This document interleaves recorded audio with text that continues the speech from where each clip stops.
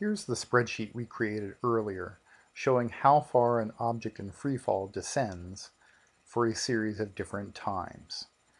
This cell, B2, which we've also labeled little g, is the acceleration due to gravity, 9.8 meters per second per second on the Earth, but we can change that value to be anything we want for, say, other planets.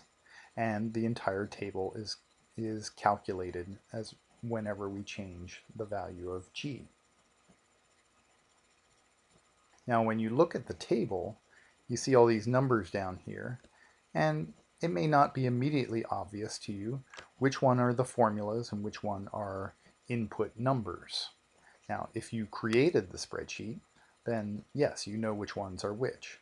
But if this is a spreadsheet someone else gave you, or if it's your spreadsheet and you're trying to find a problem where it's not calculating correctly, then it's very handy to see the formulas in the actual spreadsheet instead of just up here in the formula bar. So the way to see the formulas everywhere on the spreadsheet where they appear is to click on the Formulas tab and then over here near the right under Formula Auditing Show Formulas. Click on that and now wherever there's a formula in the spreadsheet it appears in the spreadsheet.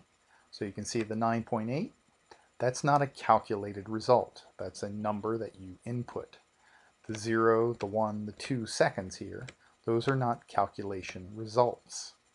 But these cells here are formulas.